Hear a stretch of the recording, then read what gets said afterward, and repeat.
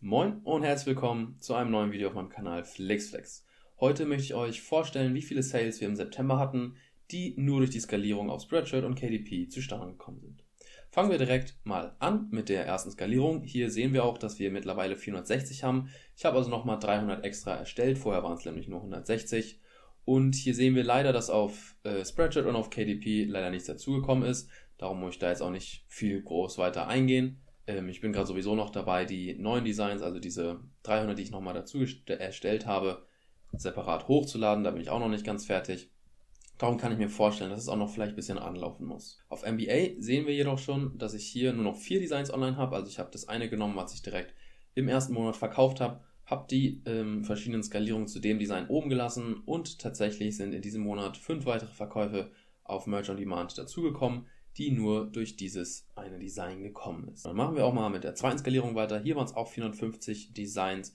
Ähm, da habe ich auch schon im letzten Video gesagt, dass es etwas mehr wie eine Trendnische ist, beziehungsweise nicht so ein Evergreen-Ding ist. Und aus dem Grund, wie wir es hier auch schon sehen, hat sich das Ganze gut sichtbar gemacht. Im August waren es noch 7 Sales auf Spreadshirt und im, bei KDP 8. Und das ist bereits jetzt auf einen runtergegangen. Ich kann mir auch vorstellen, dass Oktober, November genauso schlecht wird, Dezember vermutlich auch.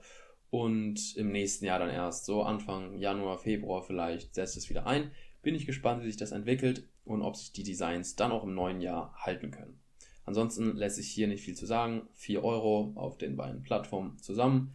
Ergibt trotzdem, wenn wir hier die beiden Monate bisher zusammenrechnen, einen Stundenlohn von 5,34 Euro, zu dem ich damals gearbeitet habe. Das errechne ich quasi so, dass ich schaue, wie viele Stunden habe ich hier für die Skalierung gebraucht. Hier sehen wir es nämlich 9 Stunden 5 also drei, äh, neun Stunden und eineinhalb. Ähm, und in der Zeit habe ich 405 Designs erstellt. Das Ganze geteilt ergibt dann den Stundenlohn. Bei der dritten Skalierung haben wir 1200 Designs in 24 Stunden, in denen ich die erstellt habe.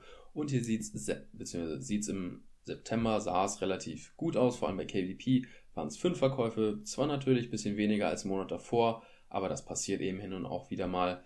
Ähm, bei Spreadshirt leider auch nur ein Verkauf, aber da generell der September einfach schwächer war als der August, zumindest bei Spreadshirt und KDP bei mir, glaube ich, auch, ähm, lässt sich das verkraften und ich bin, wie gesagt, sehr gespannt, wie es vor allem in den nächsten Monaten sich dann weiterentwickeln wird, vor allem wenn es dann in Richtung Q4 geht.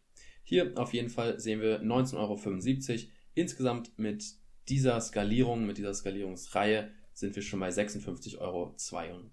Dann kommen wir auch zur vierten und zwar zum größten Skalierungsprojekt mit 2300 Designs in nur 15 Stunden, also ein bisschen weniger Arbeit reingesteckt. Und hier sehen wir auch, dass sich das sehr gut entwickelt hat. Im ersten Monat, wie gesagt, noch keine Verkäufe, was damit zusammenhing, dass ich dort eben auch noch keine Designs von der Reihe hochgeladen habe, weil man bei Spreadshirt, wie gesagt, nur 50 Designs zum Beispiel hochladen kann. Ich auch jetzt für die nächsten drei, vier Wochen auch immer noch volle 50 Slots ausnutzen kann, um die restlichen Designs hochzuladen. Also auch von dieser, von dieser Nische, sage ich mal, sind noch nicht alle Designs final hochgeladen. Aber wir sehen schon, dass sich das sehr gut entwickelt hat. Vor allem bei Kindle Direct Publishing sind es neun Verkäufe geworden, bei Spreadshirt sind es drei. Das macht insgesamt 39 Euro und einen Stundenlohn von 2,66, was sich für einen Monat auf jeden Fall sehen lässt. Wir sehen hier unten, habe ich auch schon das fünfte Projekt eingetragen mit 700 Designs. Das kommt jetzt neu dazu. Da habe ich jetzt im letzten und im Monat davor ein bisschen dran gearbeitet. Aber das habe ich jetzt im September nicht mit reingenommen, weil ich jetzt im Oktober erst damit anfange, die ersten Designs dahingehend auf den Plattformen hochzuladen.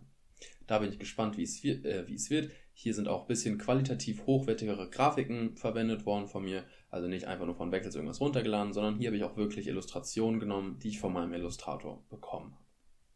Insgesamt, wenn wir uns alle Projekte dann jetzt im Finalen anschauen, sehen wir, dass dieser Monat ein bisschen schlechter war als der vorherige, mit 20 Verkäufen statt 26 und knapp 20 Euro auch weniger am Gewinn. Insgesamt haben wir trotzdem jetzt in den zwei Monaten 150 Euro nur damit verdient, dass ich Skalierungen hochgeladen habe auf den beiden Plattformen und das ergibt dann insgesamt einen Stundensatz von 2,10 Euro.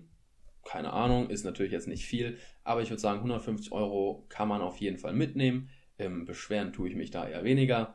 Und genau, das soll es dann im Prinzip auch für das Video schon gewesen sein. Wenn ihr noch irgendwelche Fragen habt, wie ich die Skalierung aufgebaut habe oder wie ich das Ganze hochgeladen habe, was auch immer, schreibt es gerne in die Kommentare und ansonsten wünsche ich euch noch einen fantastischen Tag und yes, ciao, ciao.